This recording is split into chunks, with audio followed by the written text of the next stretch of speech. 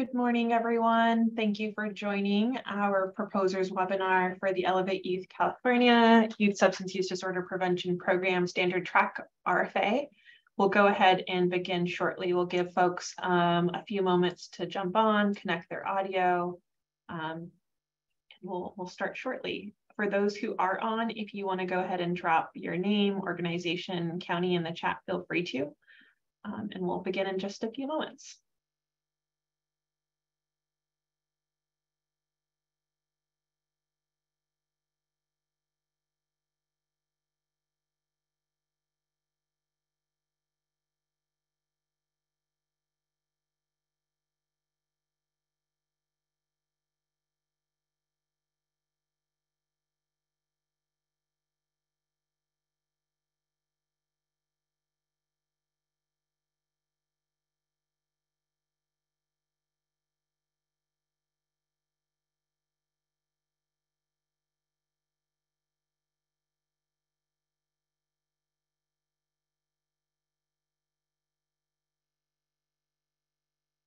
Good morning, everyone. Again, um, this slide just has, uh, if you're having any audio issues, if you can't hear me speaking, um, then just ways to connect. Um, just a reminder that all participants are going to be muted during the webinar. And if you have any questions, please submit them through the chat feature or in the Q&A. And we do request that, we do ask that you submit your questions in Q&A over the chat, just so that way it's not lost. Um, but in case chat is preferred, feel free to drop it there. Our team will be monitoring that as well to make sure that um, we're receiving those. And if um, you do, just make sure you're clicking either everyone or to host and panels hosts and panelists. Um, so that way we do receive your questions. Next slide, please. Good morning all and welcome again to the Elevate Youth California Youth Substance Use Disorder Prevention Program Standard Track Request for Applications Review webinar. Um, this call or this webinar will cover the RFA and um, the key components of it. Um, the training or this webinar is recorded and will be posted to the website along with the slide deck as well slide. Just wanted to go ahead and introduce our team. Um, not with us today is Matt Cervantes, our Managing Director of Healthy Youth Development, um, who uh, this is one of the programs in his portfolio. Um, uh, my name is Palvinder Gore, and I serve as a Senior Program Officer here at the center and the day-to-day -to, -day to lead with Elevate Youth California. And I'll pass it over to Antonia. Good morning, everyone. My name is Antonia Gonzalez. I am the newest uh, program associate to the team, and I'm happy to share space with everyone here today. I'll pass it over to Latajane. Good morning, everyone. My name is Latajane Hall, and I serve as a program associate on the EYC team. Um, so nice to be with all of you today, and I'll pass it over to Shira. Thank you. Good morning, everyone. My name is Shira Murray. I'm a senior program associate with the Elevate Youth California team. We're excited um, that you're here with us today, and I'll go ahead and pass it over to Travis. Good morning, everybody. My name is Travis Wells. I'm another senior program associate on the day-to-day team. I'm excited to potentially meet y'all um, and work with y'all in the future. And I'll pass it over to Gerald. Good morning, everyone. Gerald White here, the program assistant with Elevate Youth California. And that concludes this team, uh, but I'm going to pass it back to Palvinder. Thanks, Gerald. And then we'll also um, uh, go ahead and introduce um, Jessica, give an opportunity for Jessica to introduce herself as well. Um, awesome. Thanks so much. My name is Jessica, and I am the section chief of the program and policy section at the Department of Healthcare Services. And I'll go ahead and pass it back to Palvinder. Thanks, Jessica. Um, so today we're going to go ahead and cover a program background about the Elevate Youth California program, the funding opportunity, um, as all of you are, are, very eager to learn more about that. And hopefully at this point, you've had a chance to also review the RFA um, that's been posted to the website. Um, we'll talk about how to apply. We'll walk through um, the application itself and um, how to be competitive. Next slide. Pass it back to Jessica. Thanks, Palvinder. Um, well, as I mentioned earlier, my name is Jessica and I'm the section chief of the program and policy section at the Department of Healthcare Services. My section oversees the Elevate Youth California program. And so this is just a slide, just a reminder on um, that our department does oversee the project and then where how the program is funded. So the pro so the project is a project um, of the center under contract with the Department of Healthcare Services, and it is funded through the DHCS Prop 64 California Cannabis Tax Allocation Fund, specifically known as YAPETA, also known as the Youth Education Prevention and Early Intervention and Treatment Account. So we just want to get the disclaimer that this is a part of the cannabis tax revenue, and that's how we are able to implement Elevate Youth California throughout the state. We can go to the next slide. And I just want to give um, a couple of uh, notes on our mission and vision. As many of you know, the mission of Elevate Youth California is it's a statewide program addressing substance use disorder by investing in youth leadership and activism for youth of color and 2S LGBTQ plus youth ages 12 to 26 living in communities disproportionately impacted by the war on drugs. Our vision here at Elevate Youth California is that we see a, a state where all California youth should have equitable opportunities to be leaders and change agents in their community. As I mentioned, although this program is under the purview of the Department of Healthcare Services, we truly could not implement this program without Palvinder and her amazing team over at the center. Um, the center is the admin entity, so for a majority of the time, you will hear specifically from the center, um, but we look forward to reviewing all of your applications and wish you the best of luck. Thanks, Jessica. Go to the next slide.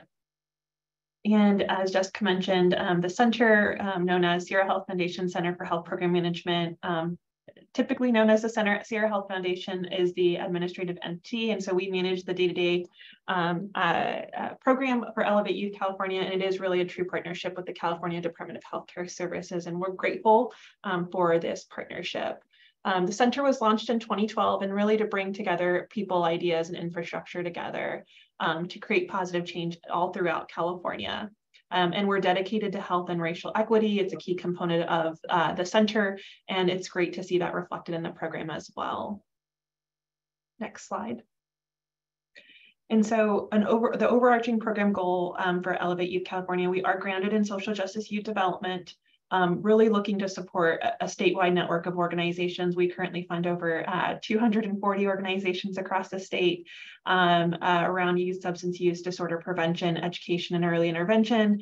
Um, this is startup activities and or enhancement efforts. And we have a focus in both low income urban and rural areas throughout California. And then again, um, the overarching piece around it is uh, around social justice youth development is to be able to impact policy systems and environmental change. Next slide. Uh, on our website, you'll be able to see um, a map of all of our funded partners, and this map shows um, our currently funded partners um, are all of the funded partners that have been uh, supported through the Elevate Youth California starting in March of 2020, and our even includes our most recent cohort from May of 2023, just a few months ago. Next slide. On our website, if you're curious to know or uh, more about our partners, again, you can access this map under Program Impact, but you can also see each of our uh, cohorts um, under the Program Impact tab as well. They're listed by cohort, so the, the timing that they started um, in the program, so uh, that's listed, and I'll uh, go ahead and share more about what standard and, and capacity means in just a moment. But you can visit um, our website, elevateyouthca.org, for more information about our funded partners. Next slide. As I mentioned, this is the um, uh, request for applications for the standard track. Um, in round five funding, we have two separate tracks uh, that, that are going to be um, uh, happening uh, in, in this particular round of funding. Uh, we're talking currently about the standard track, which will go for three years. Um, so 36 months, up to a million dollars can be requested. Um, uh, and the release of the RFA was released in July. And again, this particular track really focuses on policy system environmental change um, that is through youth activism, mentorship, and peer-led support. So really looking in this uh, in this funding opportunity to ensure that young people, youth and young adults ages 12 to 26 are centered and are leading um, uh, the policy change work that's happening, that's being proposed. Additionally, um, we do anticipate in uh, early 2024 to be able to um, share more about our capacity building track. This track is uh, for two and a half years, so 30 months, and uh, awards will range from 100,000 to $400,000. Uh, and really looking at strengthening the organizational uh, infrastructure of CBOs and particularly focusing on those that are emerging and grassroots, wanting to be able to support uh, the organizational infrastructure to be able to advance their work. Um, as, as we specifically know that for grassroots and emerging organizations, that is a very critical part in their startup. And so now we'll dive into the uh, funding opportunity. And I do see a handful of questions that are in uh, the, the Q&A portion, which is great. I'm going to probably get to some of those in just a little bit. And my, colleague, my colleagues will also be responding to them directly in the Q&A piece, but we'll get to them if they're not answered. And also just to clarify um, afterwards, as sometimes it's helpful to, to have them shared out loud as well. So this is just a snapshot of the RFA. So hopefully you've all seen this um, uh, and, and uh, have uh, visited our website to be able to select the RFA and have read through it. I cannot encourage you enough to be able to ensure that you read through the complete request for applications document prior to beginning your application. The RFA document will give you the most information about our program. And so on this webinar, I am just synthesizing that. Um, so I'm breaking it down by section, but um, uh, that RFA will give you the most level of detail. And of course, we're happy to answer any questions. Next slide. Um, in the RFA, we have a, a, a glossary, um, and we found this to be really important to be able to ensure that we are on the same uh, uh, page in regards to the definitions. So when we're talking about prevention, we really are thinking about uh, the broadest understanding and definition around prevention. So really thinking critically about um, healthy uh, uh, protective factors um, to be able to uh, build uh, the resiliency and supports for young people, as well as thinking about how to reduce risk factors. Um, and then I'll jump into two of the particular definitions on the next two slides. Um, but again, uh, we do encourage you to visit the RFA to be able to ensure that your understanding and definition of these terms aligns with where we are with the program. Next slide. So substance use disorder prevention, um, again, we, we look at prevention as the broadest definition of prevention. And so this is, again, promoting healthy behaviors reducing risks and building protective factors. So not just thinking about, you know, only focusing on substance use disorder education, but um, also being able to implement through your program, how do you promote healthy behaviors? How do you build protective factors that have been, um, that, that the youth and young adults in your program have been impacted by um, through the war on drugs or other policy and uh, systems impacts that have related um, uh, that have caused issues in particular communities. So really thinking about that specifically with the communities that you're working with. And then harm reduction aiming to reduce at-risk, moderate, and high-risk behaviors often associated with substance misuse. And so really also thinking about um, harm reduction. So we don't want you to turn away young people who are using or engaging in substances.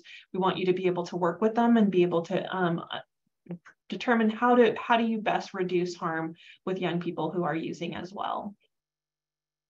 Next slide.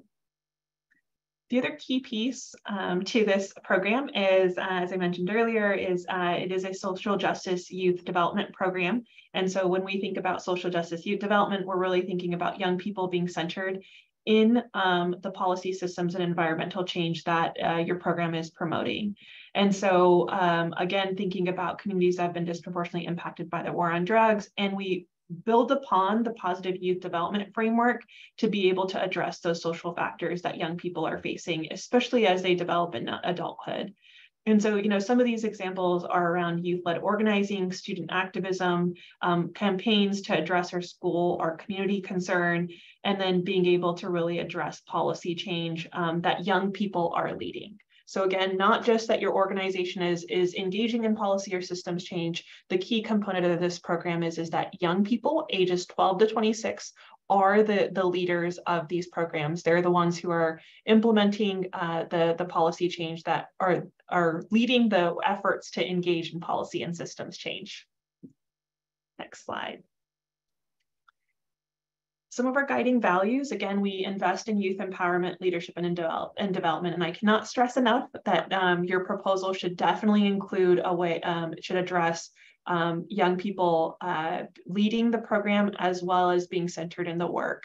And so later through the um, RFA, we'll share particular ways in which we uh, try to uh, uh, enhance uh, youth being centered in, in the program, but they aren't the only ways. And so again, as you're thinking about your program, please think about um, the program design with young people in mind and um, where, ways in which they can be leaders in the program as well. And we also want to ensure that we're implementing programs through the cultural lens of the impacted community. You know, every community is unique um, and has cultural, linguistic, um, various factors that impact their community. And we want to make sure that we're thinking about uh, that cultural lens as well. And so it's important to be able to ensure, and we'll mention even in the application, you'll see sort of a reflection of your staff and, and, and board. And we want to make sure that your staff and board reflect the community that you're serving. You know, um, it's, it's critical to ensure that, you know, those who are implementing the program from your staff, from those consultants, various sort of pe people who are engaged in your program, um, those adult mentors, they are able to understand what the youth and young adult are going through. And um, typically that that does it does really help when you, um, those staff members are coming from uh, communities that the young people are, are direct that they're directly working with. The other piece is around promotion of population level impacts. And so we do this through policy systems and environmental change. It's where the, the, the need for having a multi-year program comes into play.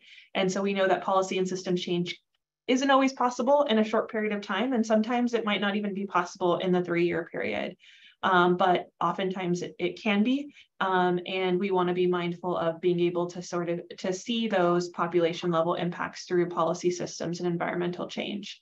And so the uh, chart on the bottom has, you know, sort of the various levels of the socio uh, ecological system. So, you know, looking at individuals, the various factors that impact them at their interpersonal level. So their, their experiences in early childhood development, other sorts of violence or abuse that they might have um, faced, or even um, young uh, family members that might have um, issues with substance use. And then we go through the beyond at the community level, thinking about their connectedness with their community. We know that's a social determinant of, of health and um, also uh, um, access to health and social services. And then, you know, thinking about also the availability of and access to substances as well, thinking about how you know various uh, uh, substance uh, substance providers. Um, so now, if you think about sort of the marketing that's done to young people as well, and we can intentionally see how in certain neighborhoods, um, as well as on social media, um, you know, the marketing that is done of substances is is deliberately targeting select groups of people, and particularly in certain neighborhoods. And then we kind of go beyond to the societal structural level, you know, again, sort of the marketing practices, um, you know, looking at the intergenerational trauma, the stigma and discrimination, and thinking about that even in, in seeking care and services. And so when we when you're building out your program, we really encourage you to think about each of these levels um, to be able to advance um, population level impacts through your policy systems or environmental change goal that you're going to propose in your application. Next slide.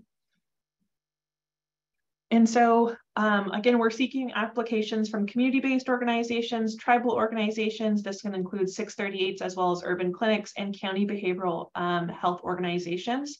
Um, the key piece around the county behavioral health organizations is that you are the sole provider um, of the prevention services in your county. And we do have a list of this, so we will, we will share that as well um, for any of the counties that have a question around this. Um, but we're really looking for organizations um, that strive for health equity and will work on specific cultural and linguistically appropriate prevention. So again, really thinking about the specific, um, you know, youth that you're going to be working it with and understanding their cultural and linguistic services that they need and be um, and, and be able to propose a program that fits that as well. And it can also include outreach and education projects, again, that are uh, addressing policy systems and environmental change that is youth-led um, in our particular age ranges, youth ages 12 to 26, so youth and young adults. The project period is three years, so it'll start November 16th, 2023 and continue on to November 15th, 2026. Um, we don't anticipate um, contracts needing to be backdated, but in the case that there are delays, contracts will be backdated, and so the, the program will, will still start November 16th, 2023. Next slide.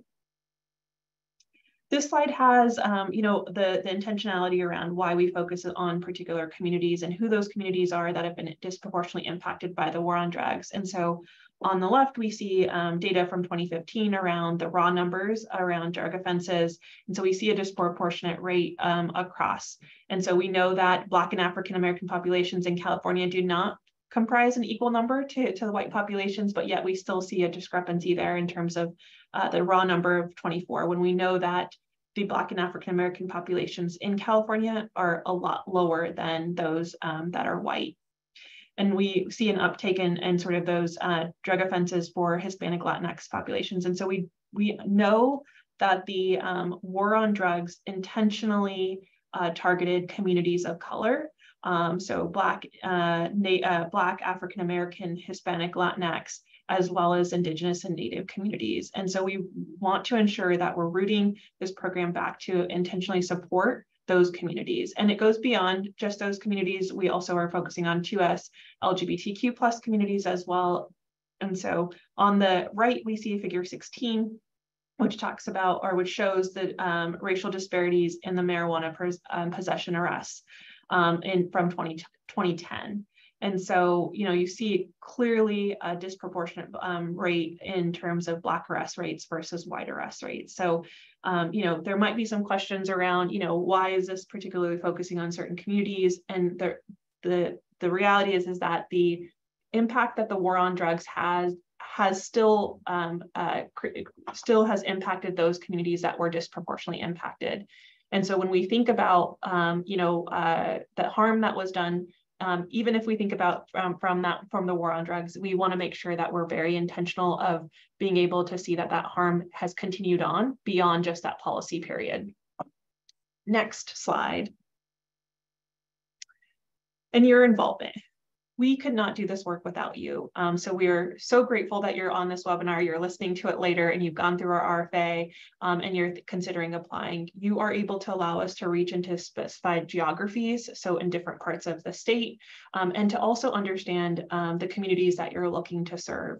Your staff, your, your board, your leadership reflect the communities and young people that you're serving and you have a understanding of their experiences. You also have trusted partnerships um, you know, with other organizations, other businesses, other sort of entities within your local region as well. And also you're able to um, develop a successful approach for community prevention and education. And so oftentimes, um, you know, we'll get a number of questions around, you know, what makes us more competitive? And if we did this approach, would it be more competitive versus this approach? And what I will say is, is that we trust you all in the work that you're proposing as you all are the experts in this work, given your experience working with youth and young adults in your local region. So we cannot thank you enough. And again, uh, uh, you know, we're, we're excited that you're considering to apply for this funding opportunity. Next slide. To go into eligibility, so this is, um, as, as Jessica mentioned earlier, this uh, the funding does come from Proposition 64, um, the uh, state cannabis tax fund, and so uh, we we do require that organizations are located in California and that your services are provided in California as well. Um, as I mentioned earlier, 501c3 community-based organizations, tribal organizations, which include the 638s as well as the urban clinics and county behavioral health organizations are eligible to apply. If you don't fit one of these um, buckets, then uh, you are able to apply through a fiscal sponsorship. And so these are open to coalition, um, uh, we'll jump into this in terms of uh, the fiscal sponsors a little bit later in the application. But let's say you're an organization that hasn't yet secured your 501c3 status, you do have a fiscal sponsor with another eligible entity, you're able to do that, apply through that means. We've also gotten some questions from county behavioral health agencies around, you know, they're not the sole provider in the county, but can they partner with um, a CBO? Yes, you can also subcontract out or, or partner with another lead entity um, that is eligible to apply. Um, so I just wanted to mention that as well. Also, coalitions and um, of organizations or collaboratives are also eligible to apply. The key piece here is, is that the backbone organization is the eligible is an eligible can, um, applicant. So you'll want to make sure whoever is the lead applicant um, is eligible through the eligibility criteria. Applicant organizations must not have an active Elevate Youth California grant. So if you're um, an EYC funded partner on this call or listening to this webinar and your award is not going to end in November 2023, um, you're you're not eligible to apply. But our organize our funded partners who do end their awards either in August 2023 or November 2023, you are eligible to apply. A specific email has been sent out to those organizations who are eligible. The only case where this, um, where if you have an Elevate Youth California grant, um, you're eligible to apply if you're the if you are a fiscal sponsor. So we have some organizations who, you know, do serve as fiscal sponsors for um, various other um, uh, community-based organizations, and so this would be um, the only exception to that. But uh, a current awarded funded partner who's going to go beyond November 2023 um, would not be eligible unless they were a fiscal sponsor. Next slide. Inter, um, continuing on with the eligibility criteria, again, we really want to make sure that your organization has um, uh, experience partnering with young people of color and those that have been disproportionately impacted by the war on drugs. And so, again, thinking very critically about the populations that you're working with and ensuring that you have that track record um, we are also looking for organizations and collaborative partners to deeply engage and reflect those proposed communities. Um, and as I mentioned, you know, we, we do ask about your staff and uh, board uh, makeup and, and being able to ensure that, you know, your staff and your board does reflect the communities that you're proposing to work with. Additionally, um, we do uh, we do require that all of our funded partners or all of the applicants have demonstrated evidence of inclusivity, and so you're not discriminating. Um, on this slide, it has a list of um, uh, sort of different factors that can be discriminated, and again, really looking for organizations that are inclusive as well. Next slide implementation strategies. So as I shared, this is a social justice youth development program. So um, a key component of it is youth activism. And so we do require um, youth activism to be a part of your program. The work plan does ask for a specific policy systems environmental change goal that you're gonna look to accomplish. And then we do um, give you the option of either of having at least one either mentorship relationship um, building or peer-led support and leadership programs. And some organizations select both. Um, so they select all three of these, um, and some will have either mentorship, so adult um, youth mentorship program, or a way to be able to uh, um, have adult uh, youth relationship building incorporated in their plan uh, in their proposed uh, uh, activities, or they'll look to have peer-led support, so peer-to-peer -peer mentorship programs and leadership programs. Um, you know, I will just mention that some folks say, well, will I be more competitive if I do all three? No, not necessarily. Again, we really want you to think about what your program, um, how it will be best situated and that design of it. So if you select two of these, you're are th all three of these, you're not like you're not going to be more competitive than someone who only selects two. Again, it's really intentionally building your program to ensure that the key aspects of it um, do align with, uh, with the young people that you're working with. Next uh, slide. Some of our examples of uh, funded activities um, are listed here. There's more listed also. There's more uh, examples of the particular uh, uh design of programs and examples of that as well on the um, uh, in the RFA. We do support direct services. Again, policy system change uh, is a key component of the program. You know, thinking about healing centered work as well. And so I invite all of our applicants to really think about work that's culturally rooted and healing centered um, peer-led capacity building, training, and leadership development, policy-focused campaigns, as well as youth-led programming and credible messenger outreach programs. These are just a, a few examples. Again, more examples are listed in the RFA. Next slide. Um, award amount. So I think there's been a few questions. It is up, is it uh, up to a million dollars for three years. So you can apply for a total of up to a million dollars over the course of the three years. So it's not a million dollars each year. It is for the three year period, um, a million dollars. Just wanted to reiterate that. And I know that was a question in the um, chat as well. Next slide. If you're awarded, it is a responsive payment schedule. So we do try to keep in mind that the upfront cost um, of uh, building out the program, so it's not reimbursable based, um, it is uh, responsive. So it would be um, a minimum of three payments. And typically what we um, do is that once the contract has been executed, if you're selected, will issue a contract as well as share the insurance requirements, which the insurance requirements are also at the end of the RFA at this time.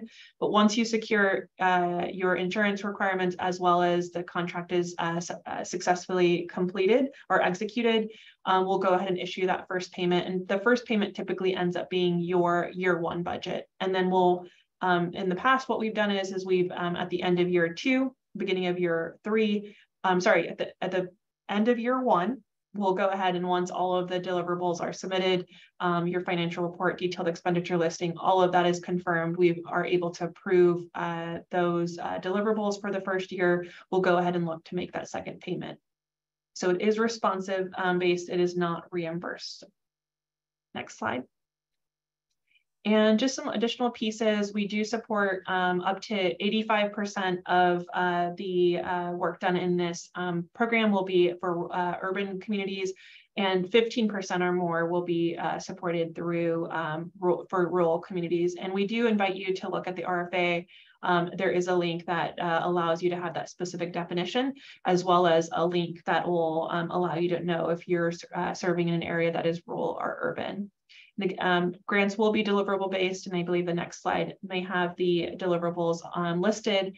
And so again, that responsive payment is, is based on those deliverables, the quarterly progress reports, the financial report, the end of year report, all of that. Next slide. And as I shared, the reporting and data requirements. So you do, we do ask that funded partners um, submit quarterly progress reports at this time um, and, and, and end of year report um, each uh, November or each early December, sorry. And then you'll have your financial report that's due annually as well, which will also include a detailed expenditure listing. And this continues on throughout the end of the through the end of the program, which you'll then submit a final uh, cumulative final report as well as cumulative financial report. This table is also included on um, the in the RFA itself. Next slide. You know, I mentioned earlier one of the ways we've uh, built our um, we've in the program we've uh, we've built some ways in which um, uh, organizations are able to uh, continue to center youth voices. And one of the ways we do this is we require a minimum of one youth listening session um, each year um, of the program. Um, and so over the course of your program, you'll need to implement three, a minimum of uh, three, so uh, annual youth listening sessions. Youth listening sessions, um, some folks talk about, uh, use the term uh, healing circle or even um, focus group. It's really an intentional opportunity to be able to hear from young people, youth and young adults who are in your program or those who you might want to reach um, to be able to get their feedback on their strategy and project implementation. We've seen some organizations do this at the beginning of the program. Um, so just as they're kicked off, as they kick off, they'll be able to talk about, you know, the program that they're pitching. You know, they'll be able to get feedback on uh, policy system change. Really, again, an intentional opportunity to hear from young people. Um, while only one is required, organizations um, have uh, implemented more than one annually as well. And you would need to note this in your application. Next slide. Okay, so we're going to pause for questions. Um, I'm going to try to quickly pull up um, the uh, questions real quick.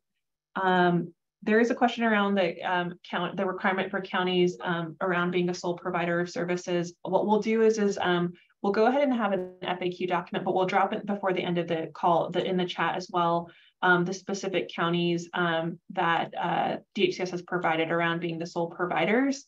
Um, but again, this is where those prevention services are, are done um, through your county agency specifically.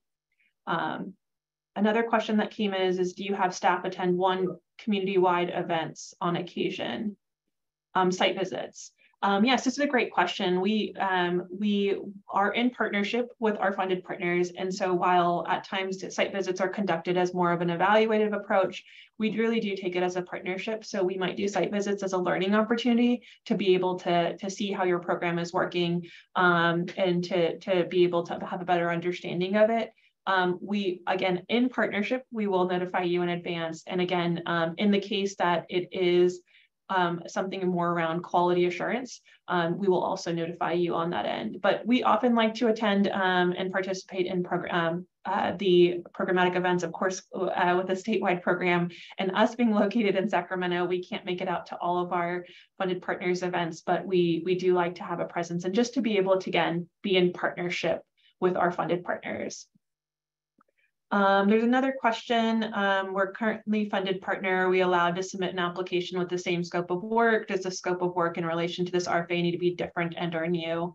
Um, so this is a great question. Um, so we don't require uh, a sort of different approach to the work that you're doing. So if you're if you are currently funded partner of the Elevate Youth California program and you've had some great success and want to continue that program, you're more than welcome to apply with that in mind um, you know, uh, from the time of the application in round two to now, the, um, the program has overarchingly stayed the same. Again, you will need to make sure that you're reading the questions to make sure that you're answering them correctly, and, and sort of those have definitely changed, um, as well as ensure um, any of the changes to the work plan. So again, we do we do want to invite our funded partners um, who who have already been funded through Elevate Youth California to think about the improvements that can also be done through their program. So if there's some some changes that you're like that you'd like to make, this is really that opportunity to be able to propose them as well. But we do not have any um, requirements around new programs. And that also goes for organizations who are applying for programs um, a program that they may have already started to implement um, and you're looking to have it be proposed for this um, uh, funding opportunity. We do not require that you have to have a new program. Again, it can be already an existing program. Of course, with the additional funding, there's probably going to be some enhancements that are made, um, uh, you know, being able to reach a higher number of youth, those sort of pieces. So um, it's important to include that as well. Um, there's a technical piece around, can you please enable participants to copy save the chat? Um, so we can save those links. I think that might be an error that I'm not sure if it can be changed or not, but if it can, my team will make note of it. Um, I will also just mention that um, the links that we're sharing, um, any of the links that we from the EYC team shares, will also go ahead and have them to the um, linked on our website. Um, and they are also uh, included in the RFA. So um, the main link, if you can get to our website on the news section, the RFA is listed there as well as the online portal is listed in the RFA itself. Um, so just wanted to mention that, but our, I'll tell you to see if our team can support um, with that. Um, there's some questions in the chat around like, you know, uh, I think if, if you're in cohort two, can you apply? Again, if your award is ending November 2023, um, you are eligible to apply for the, for the round five funding opportunity. Um, there's another question around, will a county office of education be classified as an eligible organization? Unfortunately, no. Um, a county office of education is not um, uh, an eligible organization for this funding opportunity. Can Elevate Youth Capacity Building non-funded partner on a coalition apply on their own with the university? Um, I think there might need to be some greater clarity. So Sandy, I'd invite you to go ahead and either send us an email or to elaborate on this. I would I would ask that you send us an email. It would be helpful to be able to get greater context um, um, on this to make sure that you're eligible. Um, there is a question around, so a university that's a 501c3 eligible, um, we would also invite you to email us to confirm eligibility. Um, we have funded um, one you know, uh, university program, but again, it's because the uh, department that was within the organize or within the university was eligible. Um, uh, so I would just again invite Jennifer as well to go ahead and send us an email to confirm eligibility on that. Um, we do currently encourage and support youth activism. Could you provide more information about youth-led initiatives and whether it's feasible to invite involve the youth we serve in our current campaigns, particularly focused on immigrant and POC communities, given that our organization is already engaged in multiple coalitions and campaigns. Um, so when we're talking about youth-led initiatives, it's really ensuring that youth are the ones who are leading those policy systems and environmental change um, goals. And so, for example, if you're looking to go ahead and um, address school suspension policies, um, you know, be able to sort of shift um, some of that around not having um, young people be suspended or expelled and spending more time outside of school. You know, if that is your goal, for example, it would be making sure that young people are centered in that work and they're leading that work. So they're the ones who are determining sort of the um, power mapping of, of, of, the school board. They're able to determine the power mapping of uh, individuals who are part of that uh, change and how to be able to accomplish it. They're being trained on how to speak at uh, school board meetings um, and also being able to um, lead and drive those campaigns. So when we think about youth-led initiatives, again, really thinking about youth having an active role in creating the policy systems and environmental change goal. Um, will we be receiving a copy of this presentation? Yes, the presentation will be posted on the website along with the recording. We anticipate, if not by the end of this week, early next week. Um, another question around, we serve a very large geographic area that includes several urban and several rural areas. We're not sure which category to apply in. Well, you're in luck. There's an option to go ahead and select both urban and rural on the application. And when Shira um, uh, covers the application, you'll be able to see that specifically. Um, can youth participants be, stay, be paid or stipended? Um, yes, youth participants can be compensated. Um, you would need to um, include this in the budget justification to be able to elaborate on how uh, that compensation is happening. Can you clarify how often the two-day in-person convenings will occur? Will they occur every project year? So um, the two, we're, we're asking that you submit for two two-day in-person convenings. Um, so we don't have the details as of right now, um, but I would say it would be good to budget out for three to five um, individuals to be able to attend that two-day um, in-person convening in Sacramento as of right now. So it would be best to budget again, and we'll include this in the um, FAQ document as well. There will be two two-day convenings. Um, so, um, you know, if you wanted to put them in year one and year two, that works. Or if you wanted to put them in year two and three, that's also fine. But that uh, in-person convening will have more information after the launch of the program what would be the source of referrals? Would high schools refer youth? Um, in terms of referrals, if I'm understanding this question, this would really be on how you're recruiting, recruiting youth. We mentioned referrals in the application or in the RFA, but for a different reason. But to clarify this question, um, this would be in regards to how you're working with youth. And our hope is, is that you already have a track record and base for working with young people. So there are already um, young people that your, your organization is working with. Um, but of course, um, uh, organizations expand uh, their, their youth that they're working with. So this is done through recruitment strategies that could also include um, youth uh, referring other young people, as well as um, uh, working with schools to be able to have young people referred into programs. Um, can you give examples, um, given timing on, in regards to PSE change? Um, I, I, mentioned some earlier around the school board policy. Um, there's others around uh, safe spaces. So uh, being able to have parks and other green spaces in neighborhoods. Um, this really varies. And again, it's really important for the youth-led policy systems change to be um, in alignment with the young people you're working with. and there's a, a, handful of examples that are also listed in the uh, RFA as well. Are we allowed to add additional items to the budget template? Um, yes, I believe you should be able to. And if you have additional line items, you are more than welcome to update them in the miscellaneous section. Um, I'm going to go ahead and pause there um, because there's a handful of other questions and I want to make sure we get through all of the material in the presentation and we'll come back to the questions at the very end or at the next time we pause. So next slide. And with that, I'm going to go ahead and pass it over to my colleague, Shira. Okay, thank you. So um, at this time, we'll take a moment to review the application located on the Center's Grants portal. Uh, the Center's Grants portal is where the application is completed and submitted.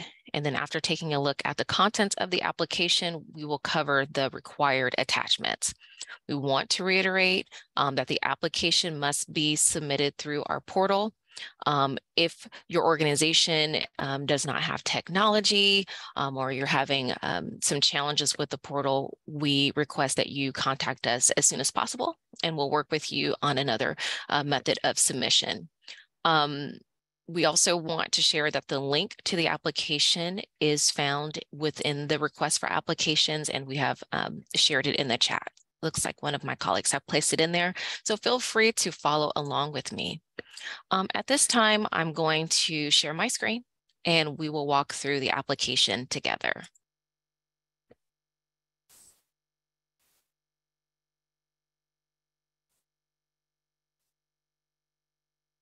Okay, so at this point, um, we should all be looking at um, the application and it says um, Elevate Youth California round five standard track. At the top of the application, there are a few reminders. Um, the first is just a note to be sure to read the request for applications before you get started on the online application. Another is a reminder to reach out to our team um, if you have any questions or if you experience any technical difficulties. Um, and then um, it's a note saying that after submission, you will receive an email confirmation. Um, the email confirmation will have a PDF of the application that you have submitted. If you believe that you have submitted the application and you did not receive an email, um, then contact our team and we'll look into um, it for you. So the application starts off by collecting some um, basic information. The information that's filled out in this section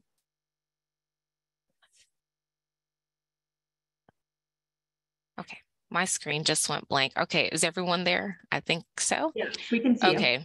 Mm-hmm. Okay, sorry about that. My screen just blacked out quickly. Um, so the information that you will provide here um, will be for the qualifying organization. So if your organization has a fiscal sponsor, that means that the fiscal sponsor's information uh, will go into this section.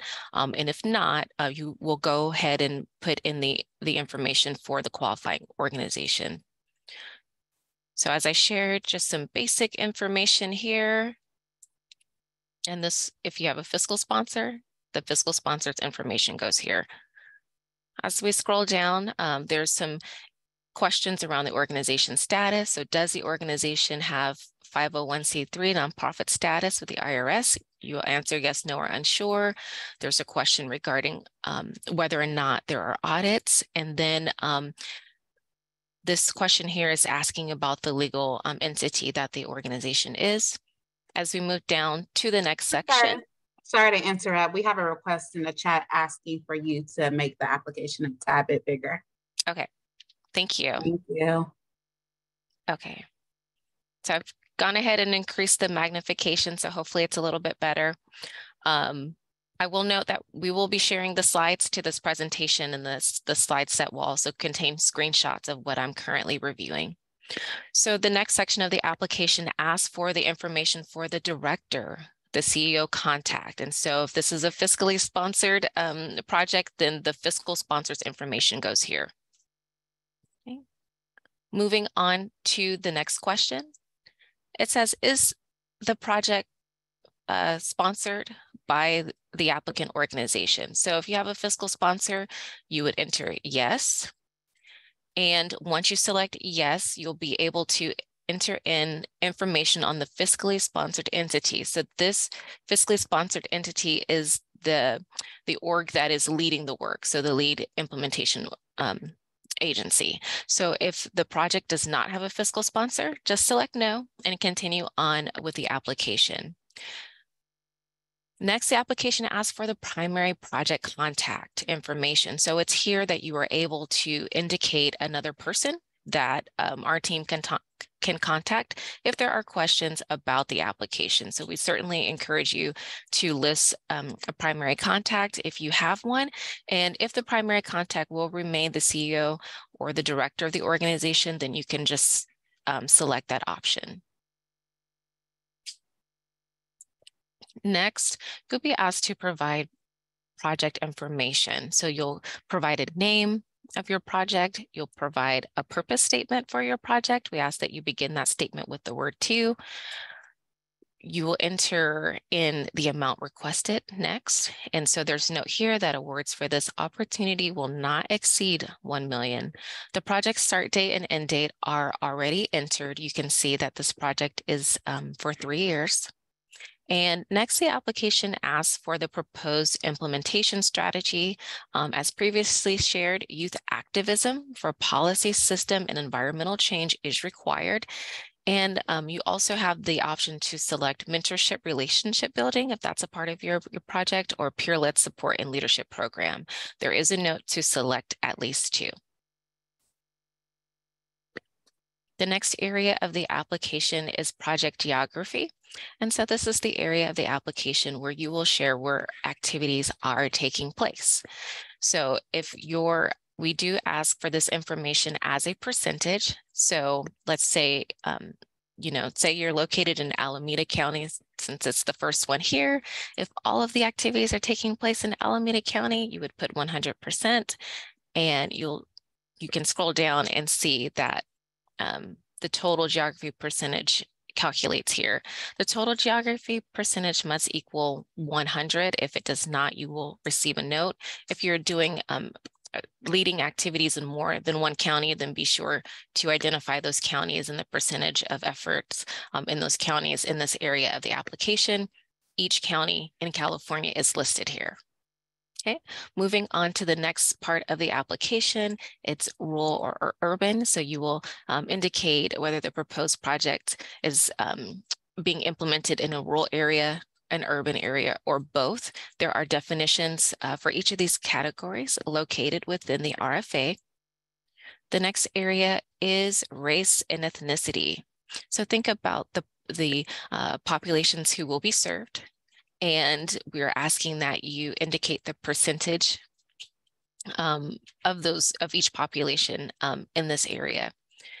If uh, the population who your project serves is not listed, you do have the option to select um, another race or ethnicity. So be sure to um, use that if you don't see a population listed, and then you can enter in that population's um, name or title into this section right here.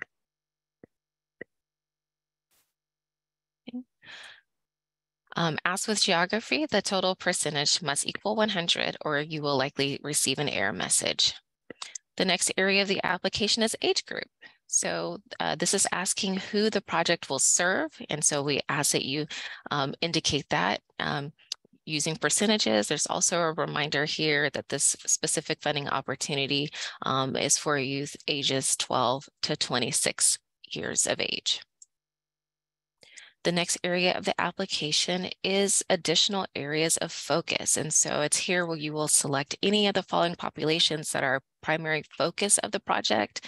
We ask that you not just you know, select every single one, but really think about um, who the project will reach, who the project is reaching, and um, being sure that you let us know how your services are tailored to meet their needs um, in the narrative section. The next uh, question asks about the racial ethnic uh, makeup of the board and staff. So it's here that we learn um, about who is leading the work um, and also organizational leadership. Um, we're just seeing if there is a correlation between um, if the, excuse me, the staff or board is reflective of the youth who are being served. So here's where you will let us know more about that. And then the next section of the application is narrative questions. Um, we encourage you to um, write out your narrative questions, maybe in a separate document. And once the narrative section is finalized, transfer those over. Um, but um, it's up to you, but that's a, that is definitely one tip that we like to share. Um, so narrative questions will be around the organization description, need, the population description, um, culturally and linguistically appropriate services. So you can share more about that, your project goals, your project activities, monitoring and evaluation, your track record with the proposed project activities and policy change. Uh-oh, let me scroll up a little bit. My mouse is just not behaving today.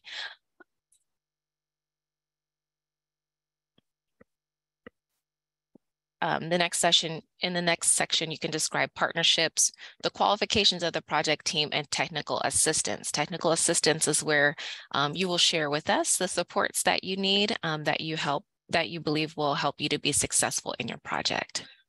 The next area of the application is attachments. And so there are a few areas of this section that I want to quickly point out and we'll take a look at each one in just a moment. So the first one is the three-year project budget. um, you can see right here where it says this link. When you click that, um, another uh, tab will open up and it will have the required budget template. So once that pops up, be sure to download it. And there's also a note for the type of file that will be accepted. So when you are submitting the budget, you know, please submit it as an Excel file. And so if you have any difficulty with that, let our team know. The next um, option or the next uh, attachment that is required is a budget justification. This is where you will download it at this link here. And please note the file types that we um, are requesting, either a Word document or a PDF. Next is the W-9. Um, please be sure to upload a signed W-9. And um, another attachment is the work plan. So there is a work plan required for this funding opportunity. Here is where you will download the template um, and for this particular um, requirement, we have provided an example. So if you want to see the example, you would click this link below and you would be able to see an example of a completed work plan. We ask that work plans be submitted as a Word document or a PDF document. Now, when it comes time to upload um, your attachments once they are ready to go, you would select choose file you would locate that file on your computer and then you would um, upload it to the application. So it's the same for each of these. Once you select choose file, you will be able to upload it to the application. Um, and then below this, let's see, I'll scroll down, is a, a, letter of support. So a letter of support is required. We're asking that this is signed by the applicant organization's executive.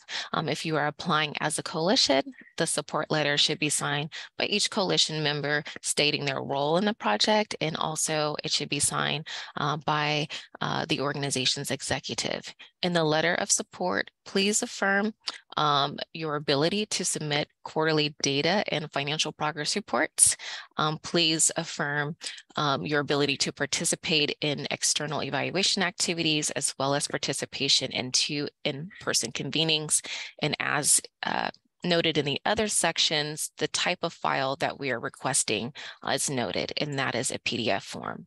Now, one thing that I believe I forgot to mention um, before we dive into attachments is that this application does not um, require an, an account. So you do not have to set up an account um, to be able to submit an application. But at the very top of the application, and I apologize for this oversight because I should have covered this earlier, but at the very top of the application, you do have the option to save progress and resume later. So once you click this button, another um, uh, box will, will open up. You'll be able to provide an email, a password of your choice, and then you would confirm that password and then you would hit save. When you hit save, that will prompt an email to be sent to you with a link um, to the application so that you can um, go back and revisit it or continue to work on it um, as you're um, going through the submission process. So at this time, we're going to take a quick look at each of the attachments. We're going to start with the budget. So I'm switching my screen over to the budget template. So this is a three-year budget template. I'm going to quickly circle um, each of the years so that they stand out a little bit more. Here's year one, year two, year three, and then there's a section that says total, and this is where the cumulative totals for each of the three years will combine, and you'll see totals there. Now, within each year, there are three columns. The first column is the total project budget. Um, you will not need to enter any data into this budget. Um, this into this column, excuse me, this particular column will calculate totals from this column and this column automatically. Okay. So in year one, you see that there's a column for requested from the center. So this is how much you are requesting uh, for this uh, application. And then the next uh, column here asks for other funding committed to the project. And this represents any in-kind funding that may also go towards the project that you are proposing. On the far left-hand side, um, this is where you will enter in um, each of the line items for your budget. So you can see the first one is personnel. So we ask you to list um, each of the you know, positions that will be funded um, and the costs associated with that. We're also asking for the FTE of each of those. So if it's a full-time position, what we look for is 1.0 FTE. So that's a full-time position. If the position was part-time or let's say half-time, you would enter 0.5. So once you have your personnel and your salaries um, in there, we're also wanting to highlight that we request payroll taxes and benefits. Sometimes this is overlooked. Um, if you have any consultant fees, um, be sure to list those consultants down here and the fees associated with those services. Um, then you'll be able to add other um, expenses. So you'll see some expenses have been itemized for you already. And then if you have expenses that are not listed here, you can write those in um, in lines four through eight. Also, there is um, an area for your indirect rate. And so these are for some of your indirect costs. And we want you to note that indirect costs can be up to 20% of the direct costs. You'll see 10% listed here as a default, but you can go in and manually change that. Okay, so after you have uh, completed your budget, we definitely encourage you to review it, make sure that your totals are adding up, that you have the amounts that you're requesting from the center. Um, if you have any in-kind support, that you're highlighting that for each of your, your program years, and then uh, being sure that your cumulative totals for all three years are adding up in the um, total column. At this point, we'll quickly take a look at the budget justification. So the budget justification is where you will share more about the line items in your budget. So it asks for you to state the amounts requested by year and then the grand total. And then there are some instructions um, by category. So salaries here, you'll be able to do a breakdown of the, the staffing positions that are proposed. You'll be able to share a little bit more about those positions, payroll taxes and benefits, the consultant fees. Here is an area where you can share more about the consultants that you're intending to engage with and um, how they will um, work with you on this project. There's other expenses that you can share more about um, rent, utilities, equipment, travel, miscellaneous. Your youth listening sessions are also here, so be sure to share more about the costs associated with your listening sessions, travel to in-person convenings, and then you can provide more detail on the indirect costs. Uh, moving on, we'll take a quick look at the work plan. Um, so a work plan is required for this opportunity.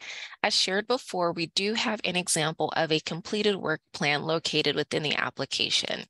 So we won't spend a whole lot of time here, um, but in a nutshell, um, you'll provide your organization name, the grant period, um, the priority area and population. So that's where you will let us know who your um, project will reach.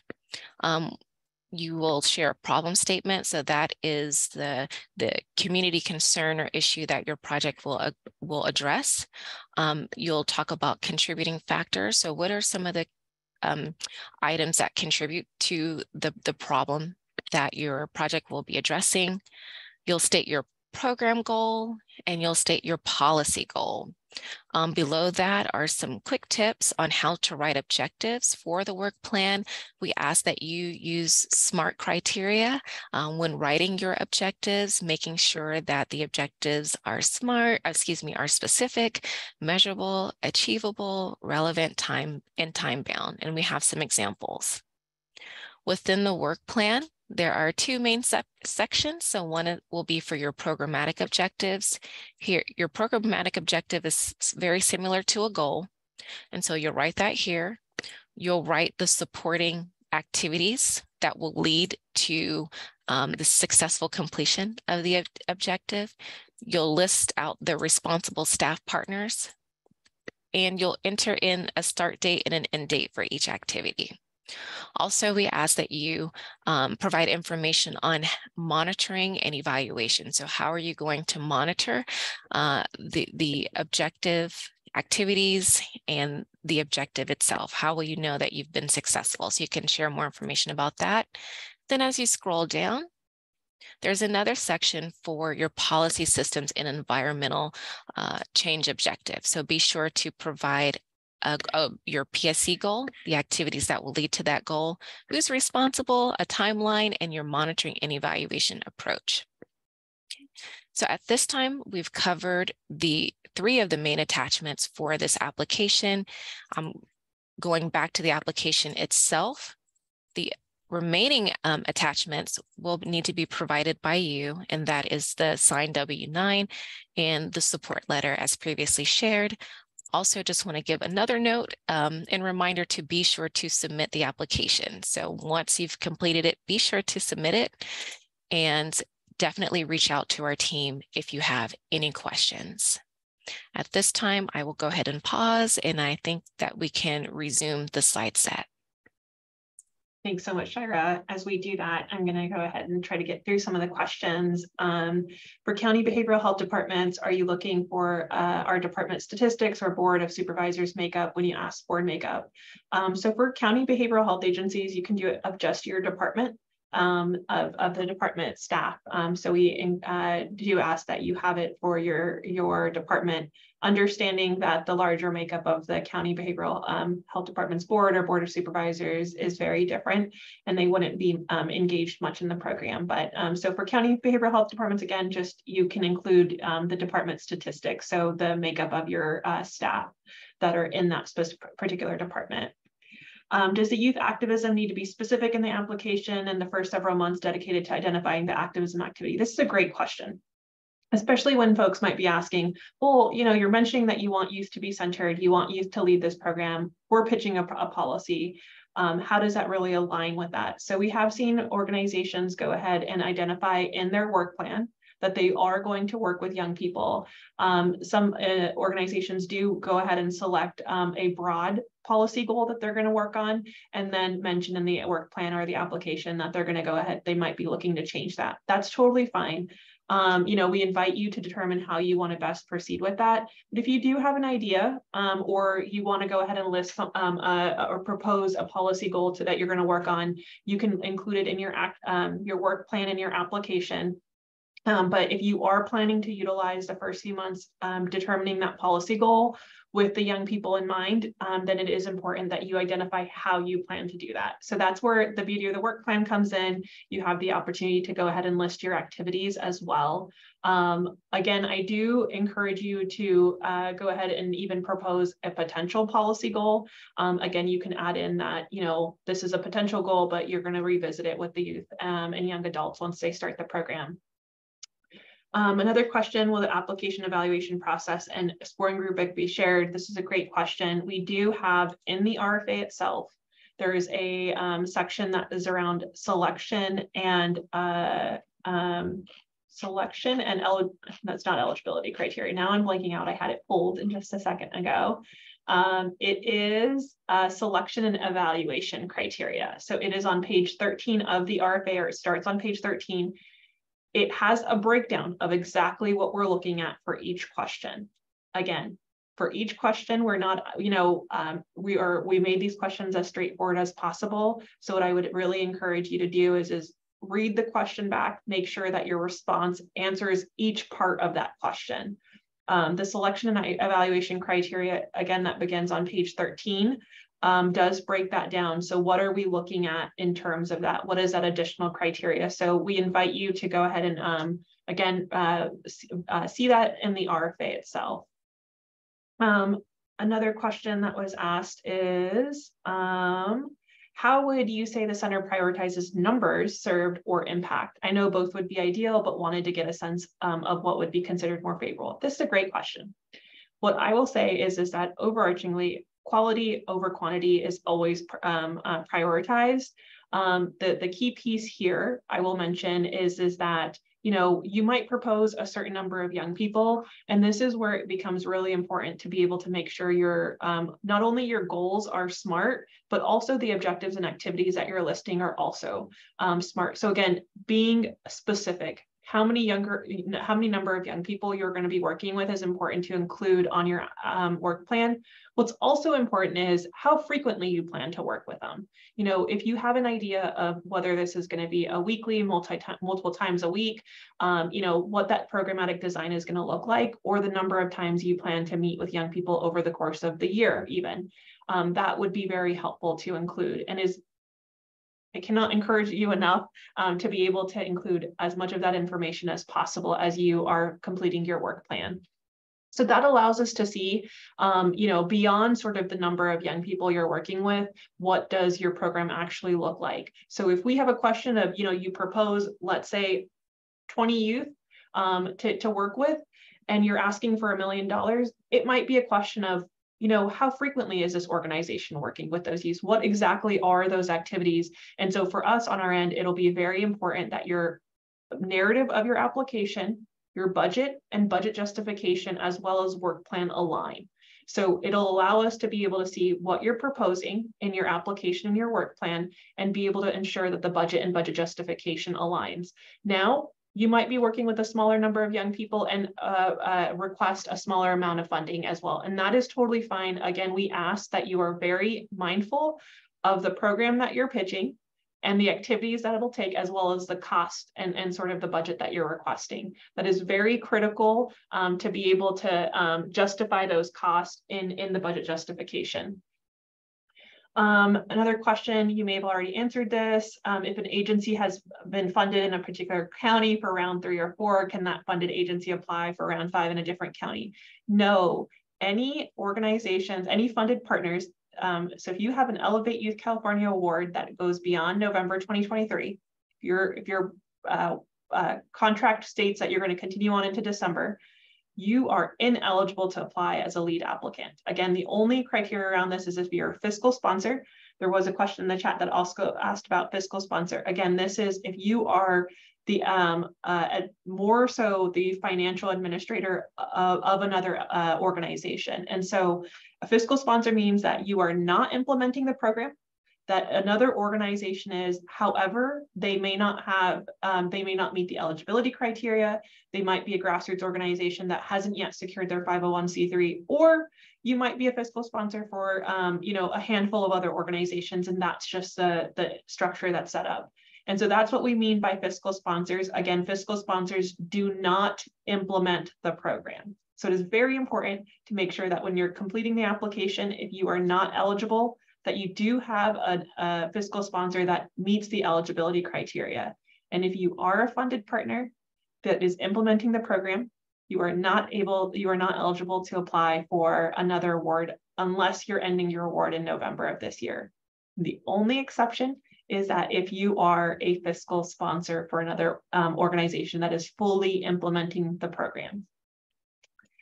Um, another question, what is the difference between standard and capacity building track? If we are interested in capacity building, um, should we apply for the standard? This is a great question. So we have two funding opportunities, um, the standard track right now, and then the capacity building track, which is gonna be released in early 2024. Um, if you are a small grassroots organization um, and you're interested in applying for the capacity building track, you can hold off, you can wait and hold off on that application. I will say that the only piece here is that if you are not proposing any policy systems or environmental change, if your organization doesn't have that track record, um, you're going to be less competitive for this funding opportunity. It is very intentional about supporting policy systems, systems and environmental change. And we do want to ensure that the um, uh, organizations that are uh, that are applying do have a track record of it as well. And so if that you're not in that bucket, you could apply um, to be able to see, you know, what what you're pitching, to be able to see the sort of response that you get. We do do feedback calls as well. The good thing is, is that if you are denied for the standard track, you can still apply for the capacity building track, and you will be notified before that application um, due date for the capacity building track comes up. Um, I cannot tell you which way to go, and I wouldn't recommend one way or the other. Um, you know, on one hand, you can it does take um, quite a big lift to be able to apply. Um, if you are, if you know you're not going to be competitive for this application and you don't want to do that work, you don't have to apply.